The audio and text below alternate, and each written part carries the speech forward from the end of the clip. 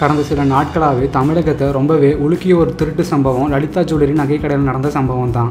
திருச்சியில் உள்ள லலிதா ஜுவல்லரி கடையில் சுவரில் ஓட்டை போட்டு இருபத்தெட்டு கிலோ எடையுள்ள தங்க வைர நகைகளை கொள்ளையடிச்சிட்டு போனாங்க.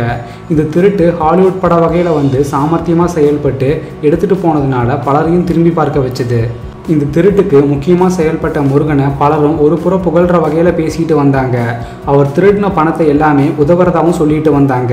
அது மட்டும் இல்லாமல் அவர் மேலே எழுநூறு வழக்குகள் இருக்கிறதாகவும் சொல்லிட்டு வந்தாங்க. ஆனால் முருகனை பற்றி வர பெரும்பாலான தகவல்கள் போலியானதாகவும் கற்பனையானதாகவும் தான் இருக்குன்னு சொல்லிட்டு வராங்க.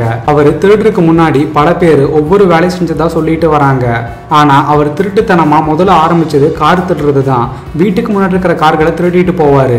இந்த மாதிரி வேலை செஞ்சுட்டு இருந்த முருகன் தொடர்ந்து கொள்ளை சம்பவங்களில் ஈடுபட ஆரம்பித்தார் ஆந்திரா தெலுங்கானா கர்நாடகா போன்ற இடங்களில் அதிக திருட்டு சம்பவங்களில் ஈடுபட்டவர். முருகன் இந்த மாதிரி திருட்டு சம்பவங்களில் ஈடுபட்டவர். அவர் நகைக்கடையில் போய் கொள்ளையடிச்சதா? இதுக்கு முன்னாடி எந்த ஒரு போலீஸ் ரெக்கார்ட்ஸும் இல்லைன்னு சொல்லிட்டு வராங்க.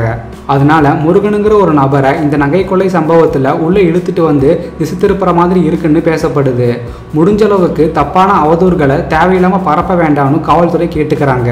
அடுத்த வீடியோ பார்க்கறதுக்கு முன்னாடி கீழே இருக்கிற சப்ஸ்கிரைப் பட்டனை கிளிக் பண்ணி எங்கள் சற்றுமுன் சேனலை சப்ஸ்கிரைப் பண்ணுங்கள் கூடவே பக்கத்தில் இருக்கிற பெல் ஐக்கானையும் ப்ரெஸ் பண்ணுங்கள்